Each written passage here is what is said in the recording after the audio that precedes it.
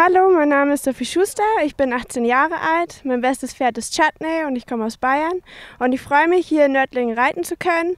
Der Parcours heute war nicht so ganz einfach, aber mit einem Fehler bin ich mit mir und meinem Pferd doch ganz schön zufrieden.